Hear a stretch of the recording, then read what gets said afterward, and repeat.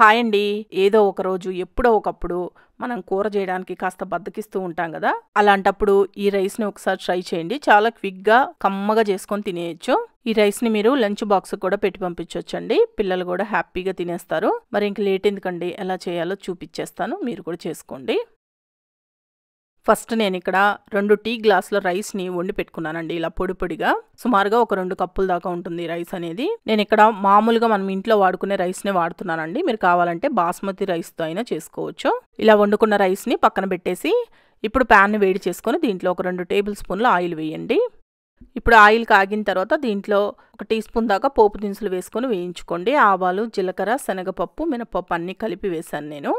ఆవాలు కాస్త వేగిన తర్వాత దీంట్లో రెండు లేదా మూడు టేబుల్ స్పూన్లు పల్లీలు వేసుకొని వేయించుకోండి. పల్లీలు మీకు కొద్దిగా తక్కువ కావాలంటే తక్కువ వేసుకోండి ఎక్కువ కావాలంటే ఎక్కువ వేసుకోండి. ఈ పల్లీలతో పాటు మీరు కావాలంటే జీడిపప్పులైనా కొన్ని వేసుకొని వేయించుకోవచ్చు. ఇప్పుడు పల్లీలు వేగిన తర్వాత దీంట్లో ఒక రెండు పచ్చిమిరపకాయలని కట్ చేసి వేయండి. అలాగే ఒక రెమ్మ కరివేపాకు కూడా వేసుకొని వేయించుకోండి. ఇప్పుడు పల్లీలు ఇలా వేగాయి కదా ఇలా వేగిన తర్వాత మీడియం సైజు ఒక ఉల్లిపాయని ఇలా ముక్కలుగా కట్ చేసి వేసి వేయించండి. ఉల్లిపాయ ముక్కలు కాస్త మెత్తబడేంత వరకు వేగితే సరిపోతుంది. ఎక్కువ వేగాల్సిన అవసరం లేదు మనకి. అలాగే ఉల్లిపాయలు వేసిన తర్వాత పల్లీలు ఇంకా వేగవండి. అందుకని ఫస్టే పల్లీలను బాగా వేయించుకొని తర్వాత ఉల్లిపాయ ముక్కలు వేసుకోవాలి. ఇప్పుడు ఉల్లిపాయ ముక్కలు కూడా ఇలా కాస్త వేగిన తర్వాత దీంట్లో ఒక్క టీ స్పూన్ అల్లం వెల్లుల్లి పేస్ట్ వేసి అల్లం వెల్లుల్లి పేస్ట్ అనేది పచ్చి వాసన పోయేంత వరకు వేయించుకోండి.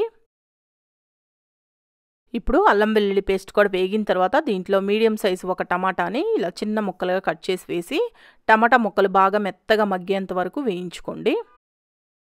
ఇప్పుడు టమాటా ముక్కలు చూడండి మెత్తగా మగ్గిపోయాయి కదా. ఇలా మగ్గిన తర్వాత దీంట్లో ఒక పావు టీ స్పూన్ పసుపు ఒక టీ స్పూన్ కారం.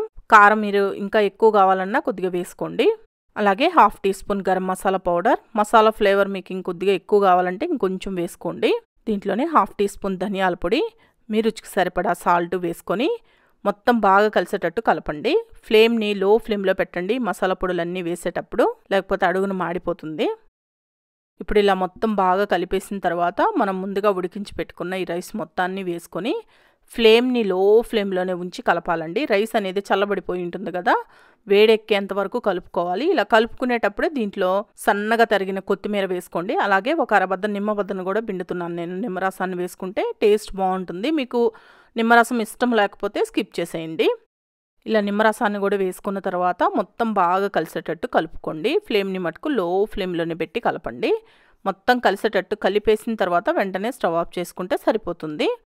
ఇప్పుడు చూడండి ఇలా మొత్తం కలిసిపోతే సరిపోతుంది. ఇలా కలిసిన వెంటనే స్టవ్ ఆఫ్ చేసేసేయండి. దీన్ని వేడి వేడిగా తింటే చాలా బాగుంటుందండి. పచ్చి ఉల్లిపాయలని పైన సన్నగా కట్ చేసి వేసుకొని ఆ ఉల్లిపాయలు నంచుకుంటూ తింటే ఇంకా సూపర్గా ఉంటుంది. దీనిని మీరు లంచ్ బాక్స్ కూడా పెట్టి పంపించవచ్చండి తప్పకుండా ట్రై చేయండి. ఎప్పుడైనా కూర చేయలేనప్పుడు చాలా సింపుల్గా చేసుకొని తినొచ్చు.